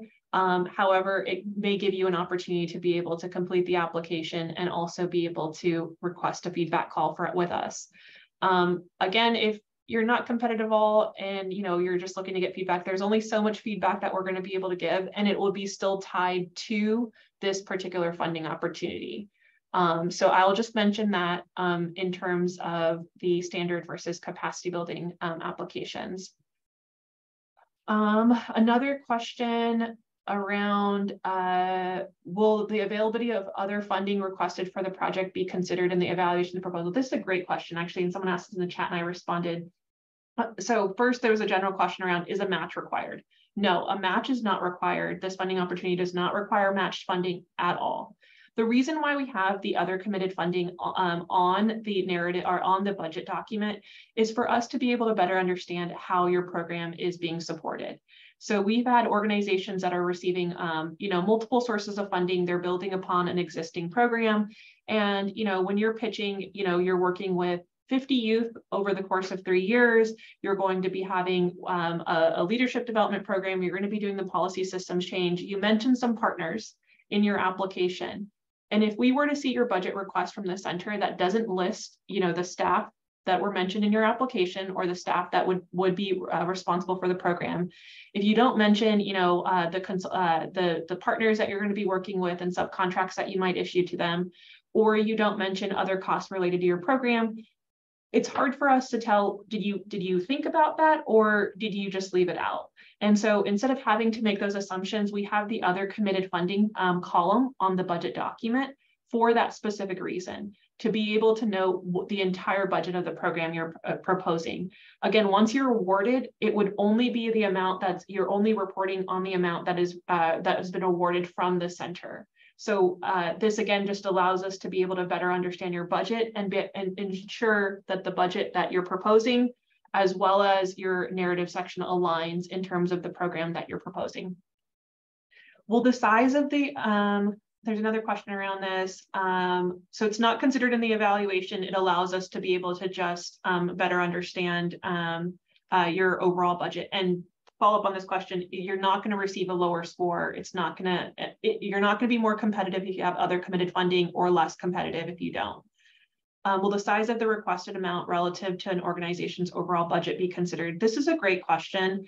Um, we do factor in to some extent um, organization budget, um, annual organization budget to the requested um, amount. However, this is really a question about um, capacity. And so one of the narrative questions does talk about how you plan to implement the program. And so it's important for you to be able to include that on there as well. Uh, we have funded small organizations, um, larger amounts, things of that sort. We do not have any sort of concern with tipping because this isn't foundational support. Um, this this is coming from uh, the state uh, state tax dollars, so it it doesn't involve organizational tipping that typical um, foundation dollars would. So we don't have any um, requirements around that on that end. If we currently provide out-of-home placement for foster youth, probation youth, um, in a short-term residential treatment program and have certification with DHCS, can we apply to provide these prevention, intervention, and education services for our current population and their families? Can we also partner with local juvenile court schools, provide the same services to the youth in those settings? This is a great question. Um, so the, the key piece around this is, is as long as the, the work that's being done is prevention, intervention, and education services, there isn't any concern. The key piece I want to just mention is, is that any organizations that are providing treatment, this is not a, a solely a treatment uh, a treatment program. Um, so it is important that the activities that you're pitching in your um, that you're proposing in your application align with this funding opportunity.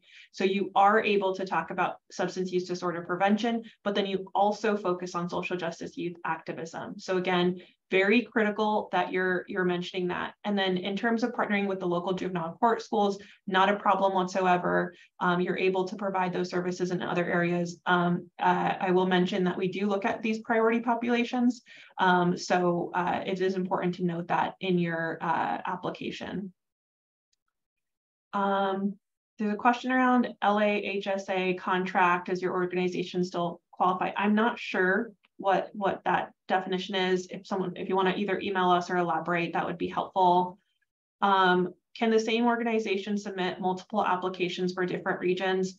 if you're proposing the same, um, if your organization, I, I would encourage you to only submit one application per organization. I can't remember if we have that listed on the RFA, but if you're pitching just the same program in different regions, I, I will just say that it's not going to increase your chance of being awarded.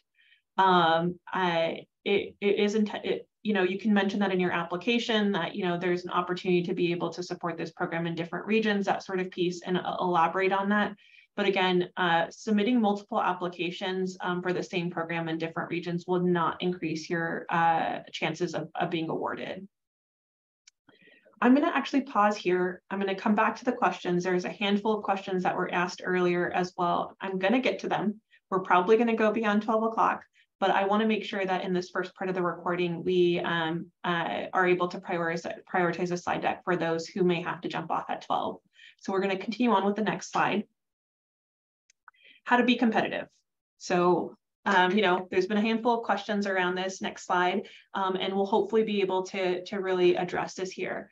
Um, again, it's really, um, you know, the most competitive applications are those who are really complete and they're responsive to the application that and the RFA that we're asking. And it's a, it's a mix of credentials, capacity, potential cost, potential and cost. So again, making sure that your narrative, your work plan, your budget and budget justification all align. It's very important to ensure that there isn't pieces that are missing.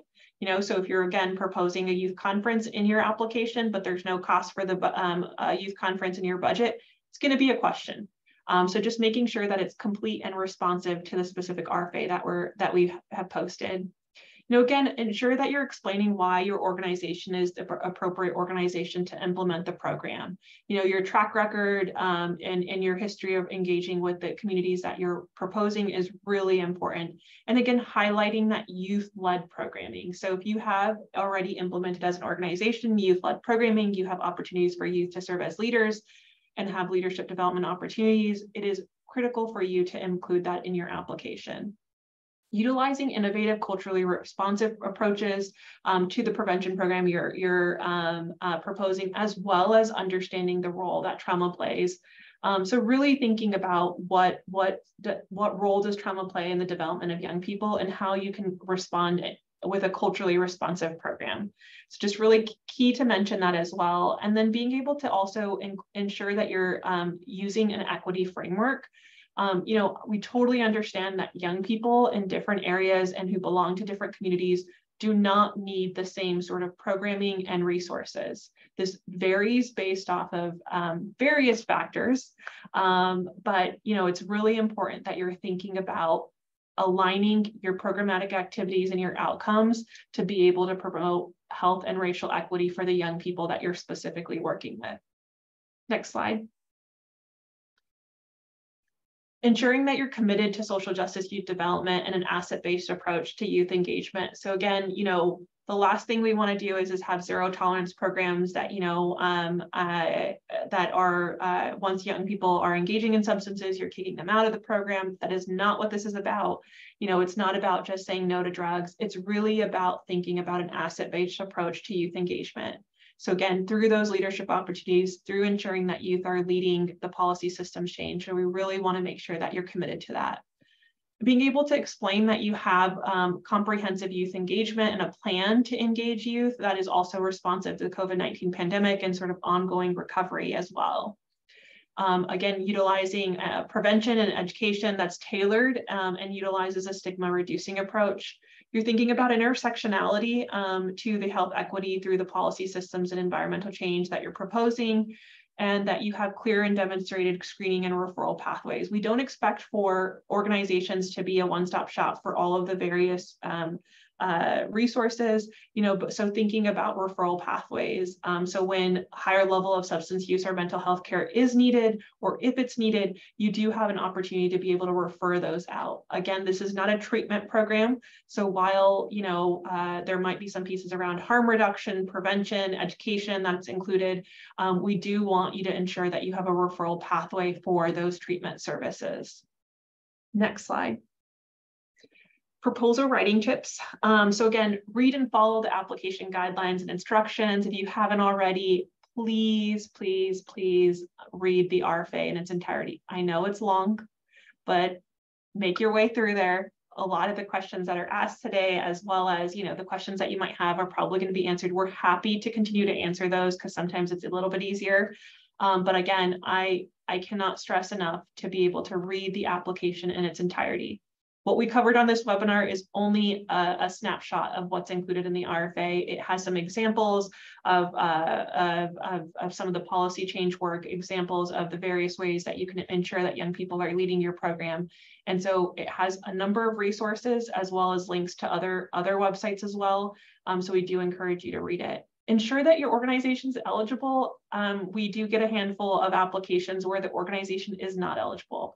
If county behavioral health agency, email us and we'll confirm if you're eligible or not. I would hate for you to start working on your application for you to realize that you're not eligible. Um, so make sure that you do that as well. Answer questions clearly and provide enough detail. So again, make sure that you're responding to the question that's being asked.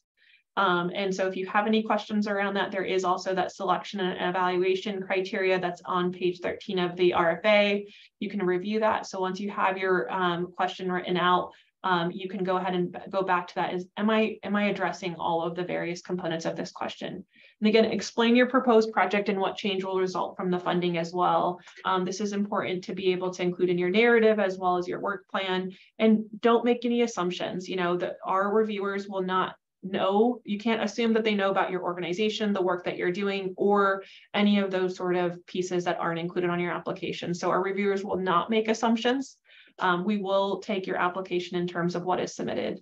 Next slide.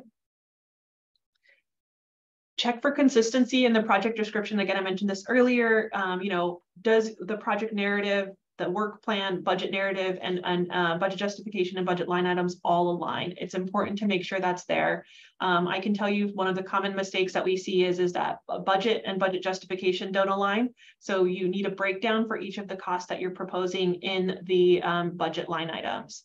And then I will say the number one piece I can I can also recommend the second piece after reading the RFA is having someone who isn't involved in your pro program or project or even your organization read your application and tell you what they think they're applying for because as implementers of the program, you have an understanding of what you're proposing. And sometimes what we write out isn't what exactly we need someone else who doesn't have that knowledge to be able to understand it. So again, really encourage you if you can find a friend, a family member, anyone who isn't involved in your program to be able to um, uh, read your application and be able to ensure that they um, tell you what they're applying for to be able to make sure that someone who isn't aware of your program does understand that. And again, review the attachments checklist and make sure you have all of the required documents. Um, it is important to be able to um, have all of those. Uh, any incomplete applications will not be reviewed. Um, so if you submit your application and you don't have all of your attachments, um, all of the fields are required. So if you try to submit and you don't have one of the attachments, it shouldn't let you submit. Um, but uh, just make sure again that you do have all those attachments. The last thing you want to do is, is you, you know, it's the 28th at like 12 p.m. and all of a sudden you forgot that you didn't complete the budget justification or you forgot that letter of support. And so um, just wanted to mention that as well as make sure you go through the attachment list. And there was a question, and I think we'll get to it, um, but the end of the RFA has all of the questions on the application. So you can copy from the PDF all of those questions and be able to type them out in a Word document. Next slide. Um, just submission tips, always hit save my progress. So right when you start I would actually say save my progress and resume later. You know, um, if you wanted to do, just go ahead and make sure you were that the link's going to work, that your email inbox isn't going to cause any errors with having it go to spam or not receive it. Um, it wouldn't be hurt. It, it would be fine to go ahead and fill out maybe the first few sections and then hit save, confirm that you're able to come back to it, that sort of thing. Um, but I will say that if you are getting up from your desk, click save because we have had folks who have emailed us. I will tell you on our end, we've done reviews and we forgot to hit save and all of that work we just completed was gone. So again, if your computer shuts off, there's something else happens, you know, there your your it doesn't auto save. So it is important for you to go ahead and click save. So my go-to is is you know, as soon as you're getting up from your um, from your computer, if you're going to take a call or something else, go ahead and click save, and then you'll be able to resume uh, your application submit before the deadline. Um, so I know I mentioned the 12 p.m. on the 28th. For some folks, that might be earlier than the deadline, um, but I would really encourage you, if not, you know, the Friday before, um, at least that morning, try to submit. Um, because we've had a number of snags in terms of submitting at the very end. Again, folks might have forgotten an attachment. There might have been something else that was missing on there, or the application is giving them an error. And what I'll say is, is that if you have any issues with applying, do not hesitate to email us um, email the elevateyouthca um, at shfcenter.org email that's listed in the RFA um, as soon as you receive an error message. Um, you know, if if you receive it at the time of even the deadline, send us an email because we'll be able to work with you. We'll be able to get on a call with you, be able to resolve it. Um, what has, you know, what I would just make sure you do it as soon as you get that error message. Um, again, as mentioned, you can copy and paste yours or copy from the RFA and be able to have your uh, responses of um, outside of the grant portal. Um, I always think it's the best way to be able to have those responses on a Word document. You'll be able to track your word count. You'll be able to make sure there's no typos or grammatical issues, that sort of thing. And you'll be able to have someone contribute to that as well um, without having to go into the portal. So again, um, I would highly encourage um, writing out and drafting those narrative questions outside of the application. Next slide. Continuing on, so again, review the application uh, uh, sort of instructions and criteria. Coalitions may apply, um, you know, as long as one, um, uh, as long as the leading uh, uh, organization is eligible, and that organization would be the applicant. Um, again, complete the application in the online portal, the application questions, the budget, budget justification, work plan, and W-9, as well as the support letter from your administrative executive. We don't have a draft template for the support letter, um, but again, the RFA has some additional pieces on there as well as the application on what to include. Next slide. Timeline, so the deadline to apply is August 28th at 1 p.m. Pacific Standard Time. Um, again, I do encourage you to go ahead and apply before that and submit your application just to make sure you don't run into any issues. Um, we do anticipate having the award announcement in late October with funds available in late November, again, contingent upon um, the execution of your uh, contract, um, as well as securing those insurance requirements, since this is a responsive based program. Next slide. I think we have our upcoming office hours. If there's any outstanding questions that you have from now till the um, end of the uh, award period or the application period, you're more than welcome to email us. Our team is pretty responsive, uh, pretty quick to respond to those messages. Um, so feel free to email us. Additionally, we'll have two opportunities for office hours.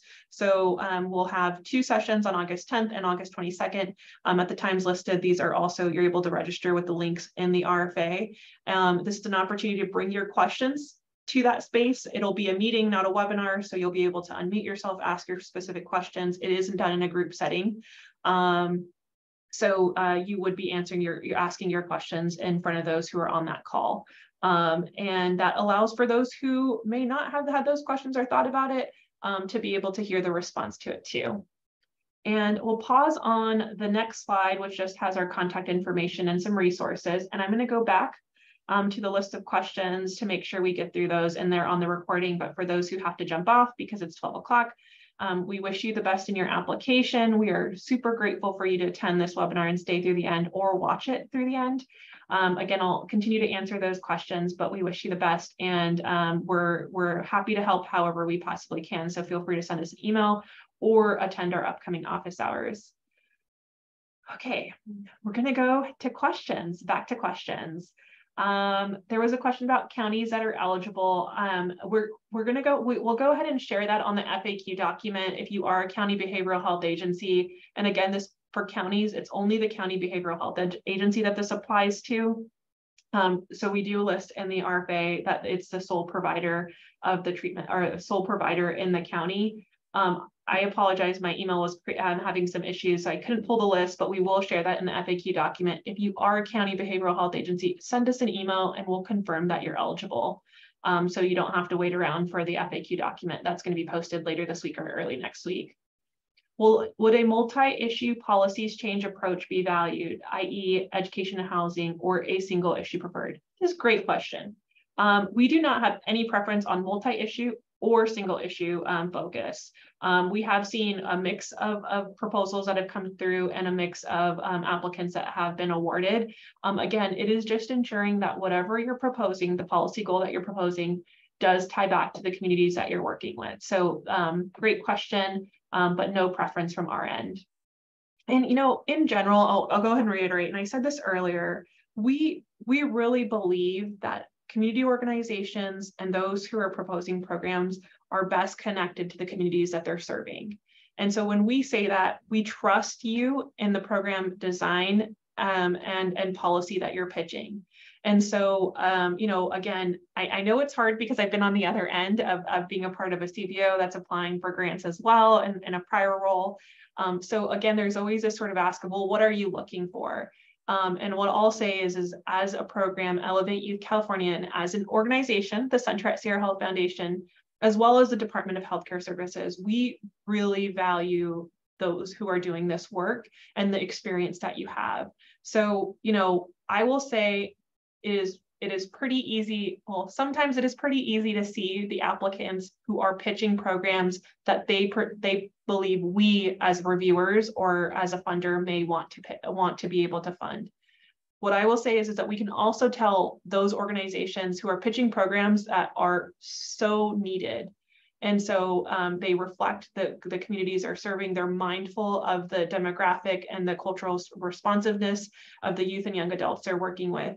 And those shine out in terms of uh, our reviewer process. And so again, we, and I don't, I don't think I mentioned this on this call, we don't look for the most polished application. So if your application has a typo or two, I'm less concerned about that versus again, is your track record, your history, your way in which you're engaging youth as leaders? Are you acknowledging also the shortcomings, right? If policy systems change or youth-led policy systems change hasn't been a key component of your organization, are you addressing on, uh, addressing that as well as including ways in which you're going to look to ensure that youth are leading this program?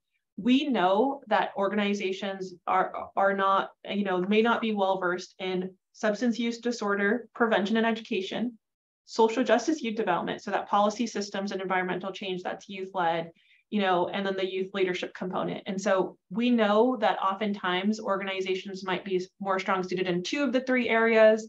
And so one of the key pieces that I just want to say is, is that stay true to, to, to your mission, your, your vision of your organization, um, as well as uh, the proposed program that you're having. Um, and, and that can be done in, in, in a variety of ways. Let's say you're a youth-based organization that hasn't done substance use disorder prevention uh, previously. Well, prevention for us is that broadest way. So if you're working with young people, providing them opportunities, reducing risk factors, increasing protective factors, um, the, the variety of protective factors that exist. Are you, you know, providing for you know greater resources around um, educational aspirations. You know educational resources are you are you working around safe spaces for young people? You know working around um, all of the various needs that young people have. Um, that is prevention. And so you know it is is very important to be able to sort of um, understand that and also um, focus on addressing those pieces as well um, so uh, I wanted to mention that because it's really important um, for us as a, as a, as a funder, um, and, but also um, as you're designing your program as well. Um, what is the policy goal? Um, the policy goal is uh, asked on the uh, work plan. This is the specific policy systems or environmental change goal that you are going to be implementing as an organization that will be youth-led as well. So we don't have that specific policy goal, but you will be developing that and pitching, uh, proposing that in your uh, work plan. Other policy ideas that are suited, that are considered unsuitable for the funding opportunity, increasing drug prevention centers in the community, syringe access, and other harm reduction strategies. Thanks. This is a really great question. Um, you know, all of these that are mentioned here definitely um, seem as if they relate. Again, it would be really ensuring that the youth and young adults that you're working with, that the policy goal is suited for them. Um, so let's say you're working with young people that, you know, don't have don't have any idea about syringe access. You know thinking about you know let's say you're working with youth 12 to 16 year olds and and syringe access isn't even on their mind. You know they're not really sure what that relates to. Thinking critically about the age group of the young people that you're working with and and the policy sort of piece on that. Now, if you're working with young people who this is their lived reality, you know, there might be members of their family, members of their friends, their social network that that, you know, syringe access is a key component and they've seen that, then of course it's relatable. You know, so again, really thinking about the young people and centering them through the policy because I can tell you a handful of times oh, when we've worked with funded partners, um, they come back and they're like, I thought this goal was really going to resonate with the young people, and it just isn't.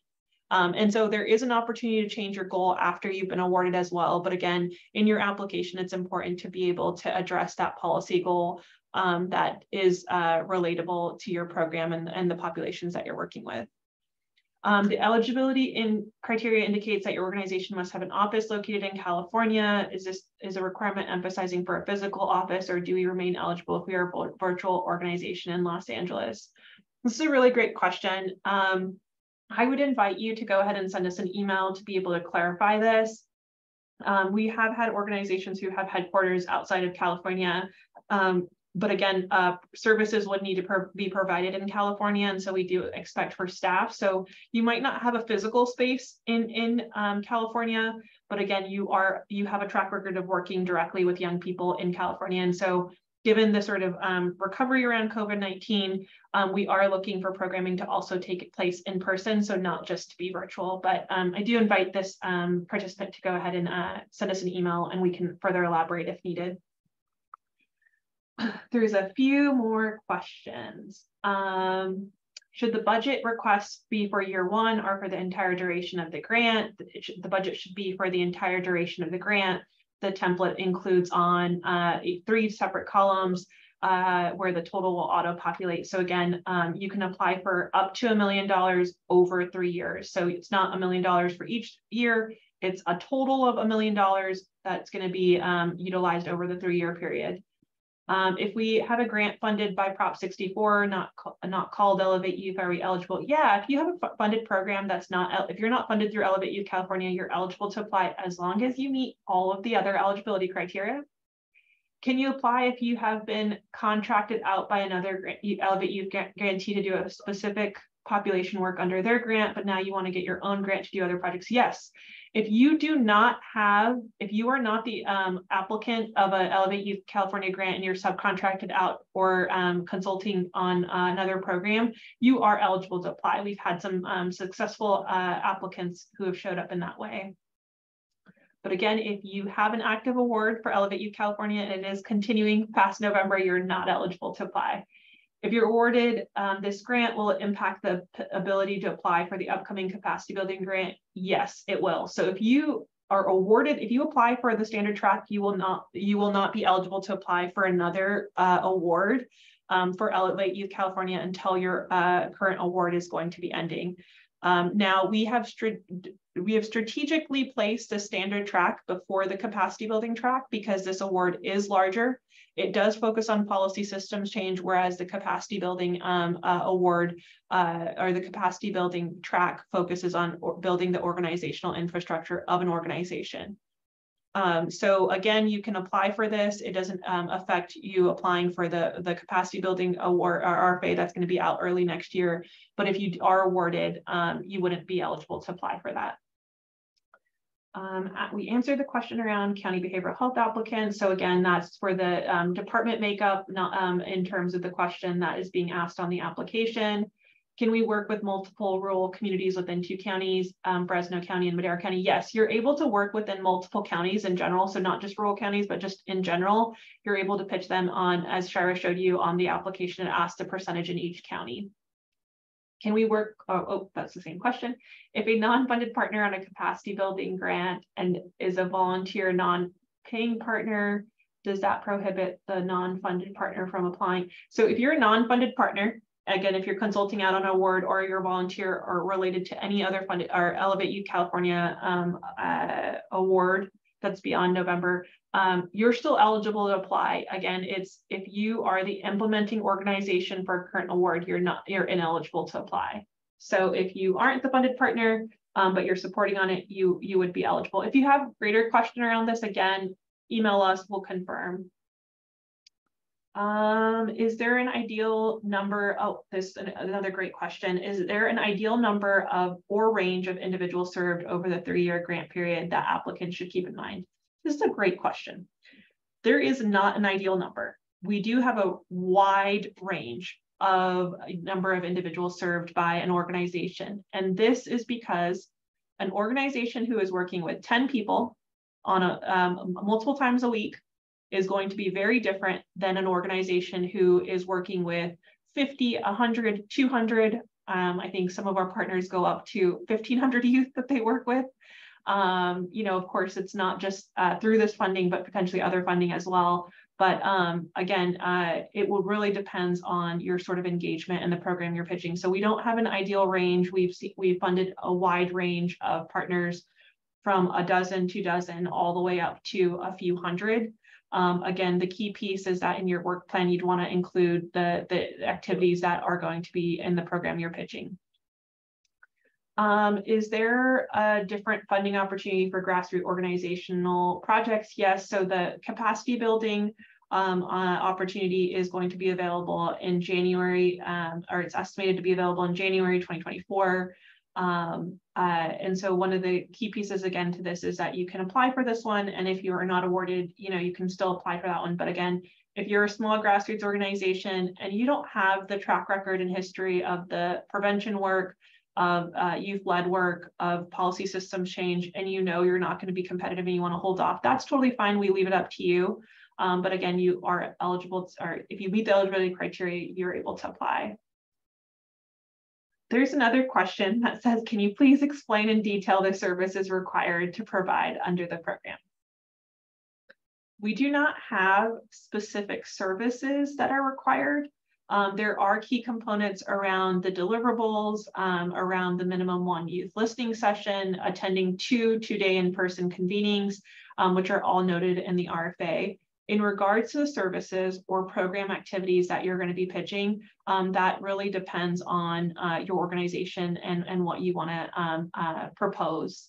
So again, um, we, we don't have in I, the entire webinar in some ways, uh, but again, the, the specific requirements are listed in the RFA. Um, and then other than that, it's just the programmatic activities that your organization is proposing through your narrative and work plan. Um, I think this might be the last question for now, but can we use the funding to provide transportation access, um, i.e. Uber to the program activities? This is a great question. So we do have a limitation and, um, you know, I will mention that um, there is a limitation around $50 per participant per year for transportation incentives. Um, uh, so Uber, Lyft, um, you know, taxi cab, all of that, it'd be $50 per youth uh, per year. However, if your organization provides transportation services, does mileage, there isn't a limitation around that. Um, or if you have youth, young adults who um, do drive or their parents and you want to go ahead and provide them with mileage, with mileage, there isn't any um, constraint on it as of now. But if you are providing um, incentives or not compensating them for the exact amounts of sort of travel by mileage reimbursement, um, uh, it would be limited at the $50 per participant per year. And another question came up, what about food? We do not have any restrictions around food in the program. Um, in, in our sort of uh, max cost, our sort of uh, allowable cost. Um, many of our programs have food um, at, um, in a part of their programming. Um, and so that's not um, any sort of, uh, there's no limitations around it. again, uh, if you're providing food at an event, um, there aren't any limitations around it. Um, you know, but again, if you're providing food for a, a young person um, that's outside of your that's outside of the programmatic activities, that's something that we would probably want to just confirm. Um, but we have, you know, given that there's uh, funded partners who work with youth um, who might be facing housing insecurity, um, have financial constraints. There's been some ways to be able to include incentives and stipends for young people. So we would just want to mention that. But so I add that caveat given that, um, uh, you know, uh, beyond the sort of uh, food app programming. Okay, well, I think that is all of the questions. Um, it's all of the questions that I see in the chat that my team has flagged for me. Um, just want to give a huge shout out to all of the all of my uh, team members uh, for keeping track of all the questions and making sure we got through all of them for responding in the chat. Um, and uh, again, thank you all for sticking on. I know we're 18 minutes over. Um, oh, there's, uh, can you repeat the transportation question? You mentioned incentives. Does that include limit on stipends? So the transportation piece is around transportation incentive. So um, if you are providing, um, so if you are either, if uh, young people are coming to your program and you are, you know, be it Uber, Lyft, taxi cab, um, or, or, you want to provide them with gas incentive, um, you would only be able to provide $50 per participant per year. And again, if uh, I would say, you know, don't don't worry too much about this because once you're worded, we'll look at your budget, your budget justification, and, and keep that in mind. We'll give you a sort of tip sheet at the start of the program, that sort of thing. But um, if you do do mileage reimbursement, there isn't a cap on mileage reimbursement. And again, because this is funded through the state, um, uh, you do have to follow the Cal HR uh, travel requirements. And so that's, um, we you aren't able to pay for gas for staff or participants. Um, uh, travel is only compensated through mileage reimbursement through this program. Um, again, we'll we'll list that on the FAQ as well as um, uh, be able to share that. And but again, if you are doing mileage, no no restrictions on it, no restrictions on um, staff stip or participant stipends either. So if you are doing um, stipends for your program, there aren't um, uh, any um, uh, uh, restrictions around that. Again, we will want you to be mindful, so it's important for you to list in your budget justification um, you know, that amount per per young person um, and how uh, frequently that would be given, that sort of piece. So, you know, um, it's important to be able to be, keep in mind, you know, how many activities, what sort of engagement is done with young people and um, what, what they're being compensated. Um, another question is landscaping of an outdoor youth facility allowed? Um, again, you can propose this in your budget. It would really depend, and I would just ask you to clarify what does that look like. Um, uh, you know, uh, this might be something that is uh, probably included in, a, in, a, in, an indirect cost, I would say, um, given that uh, if your outdoor youth facility is used across multiple programs, there might be a smaller percentage of the cost of the landscaping versus all of it being um, charged to uh, the EYC program. So, um, you know, I would really encourage you to also um, uh, ask some of these uh, particular questions around costs that are spread across programs. Um, your financial person, your financial um, team member might be able to um, better uh, answer some of these questions around what is better suited for an indirect cost. Um, and uh, if you are including these in your direct costs, it's important for you to go ahead and put in the justification um, how, uh, you know, if this is a shared cost across other programs and um, that sort of piece. Another question, can we lease purchase a vehicle? Um, no, purchasing of a vehicle is not allowed in the program. Um, this is also included in the RFA. Um, I will mention that there are a handful of non-allowable costs in the RFA, um, and that is listed on page 10. Um, so uh, some of the common pieces around purchase of vehicles, purchase construction or permanent improvement, of, of, of, building spaces, purchase of properties, those are all non-allowable costs. And all there's a few additional pieces that are um, uh, the non-allowable costs that are listed on page 10 of the RFA. Okay, well, that takes us through all of the questions. Again, thank you all for staying on. Um, we really appreciate um, you sticking uh, through all of the questions and uh, oh, there's another question. Uh, can a Food 101 training for youth be acceptable as prevention to redirect their attention from drugs? Yeah, you know, a Food 101 training, nutrition, uh, nutrition sort of uh, court classes. Um, you know, there's a lot of things that, you know, uh, a lot of training, a lot of um, uh, resources, sort of uh, programmatic activities that um, you know are considered to be prevention. And again, thinking about uh, the young people that you're uh, working with. Um, so you know, uh, nutrition. There's been some financial literacy uh, trainings, things of that sort. Um, so uh, a wide range of those trainings or courses could be definitely um, considered as prevention. Thanks for this question. Okay, so with that, we're going to go ahead and end um, today's webinar. Again, the recording will be placed, um, will be posted online along with the slide deck. Um, and then we um, hope to have the FAQ document um, with all the questions from the webinar and those that have been asked over um, email as well, posted to our website by early next week. Thank you all and have a great rest of your week and best wishes on your application.